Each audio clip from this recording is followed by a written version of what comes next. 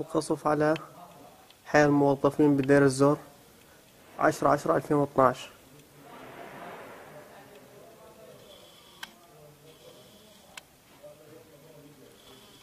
علي.